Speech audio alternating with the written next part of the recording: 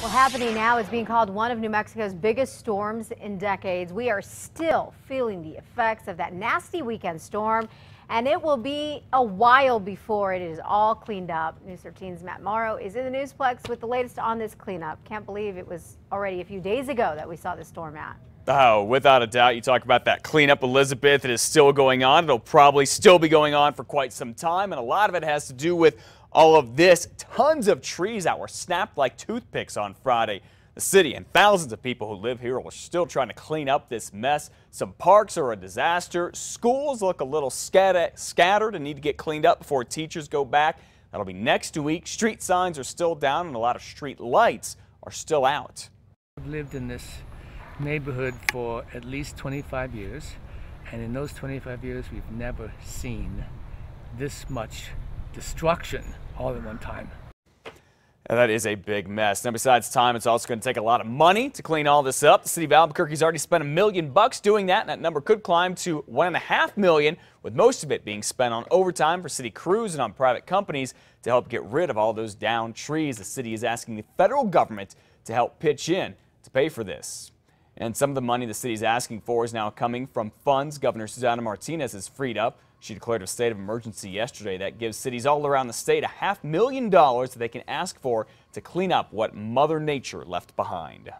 PNM crews have been able to restore power to about 99% of customers. There are still fewer, though, than 200 customers in the dark. No doubt it's been tough for these folks. Take 83-year-old Lupita Henderson, who has emphysema and asthma and needs an oxygen tank. If that tank isn't plugged in to, electric, to the electric, I, I don't get this oxygen in here and I don't breathe. It's either pay or breathe or not have the money and die. PNM says that they uh, try and respond to customers with special needs first. As for the power poles that snapped during the storm, our crews have fixed most of them. That's a good thing. We will have uh, continuing coverage on this. Stay with News 13 as we continue to cover the effects of this storm and any other that may pop up during monsoon season. Coming up on 534 now, the chairman of the Albuquerque Metro Crime Stoppers is, well, Chairman No More, resigning after getting arrested on DWI charges. Pat Davis here. Police say rear-ended a car at Broadway and Cesar Chavez early Saturday morning. He denied drinking and told police the smell on his breath was mouthwash, but police say he later blew twice the legal limit. Davis was a lieutenant with UNM Police. He ran for Bernalillo County Sheriff back in 2010 and currently works for Progress Now New Mexico. It's a liberal activist group. He'd been on the Crime Stoppers board since 2008. Well, you can imagine a murder trial is not very cheap. No, and now we know exactly how much it costs to try and convict former APD cop Levi Chavez. Now, Chavez was found not guilty. Valencia County DA Lemuel Martinez says when you add up expenses and both prosecutors' salaries for the month and a half long trial, taxpayers shelled out about 45 grand, and that includes more than seven grand to house the prosecutors at a Bernalillo hotel for an entire length of the trial and 14 grand on expert witnesses. The taxpayers' money was not wasted. It went for a good cause. The outcome didn't happen as we all wanted, but nonetheless, it's not a waste because you can't put a price on a person's life. The DA's cost paled paled compared to the city of Albuquerque's costs when you include what the city paid to settle a civil lawsuit brought by Tara Chavez's parents. The city spent just shy of 820 grand in legal costs on the Chavez case. But again, for Levi Chavez, he was found not guilty of the crimes. The U.S. House could pass a bill which would lower rates for student loans any day now. The bill would link student loan interest rates to the financial markets and offer borrowers lower rates and soon, as soon as this fall. If the House approves the measure, it would then head to the president's desk just in time for the new school year. Well, UNM's University Stadium is starting to look a little different because the huge new video scoreboard is getting installed. Athletic Director Paul Krebs tweeted out this picture yesterday. The new scoreboard will be 32 feet high and 80 feet wide. It'll have the biggest video screen in the Mountain West. And the good news is what it'll look like when it'll be done. It should be ready to go for the guys to play their first home game. It's going to be on August 31st against Texas San Antonio. Well, school district here in New Mexico is talking about making the school year even longer. According to the Alamogordo Daily Times, that city school district is considering a year-round school, which would require 240 days of school instead of 162. Superintendent says the extra days will give kids more time to learn and give the district more time to see how well kids are doing. District would have to get bonds to help pay for the extra costs, including utilities. Right now, the district is just talking about this change. It has not made a final decision on it just yet.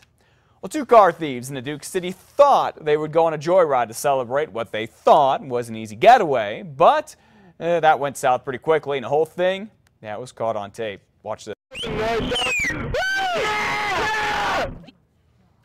Uh, yeah, it started out with these two celebrating what they just thought they pulled off earlier this month near I-40 in Juan Tabo, but their cheers soon turned into fears when they realized they were being followed and that this car might have come a little bit too easy.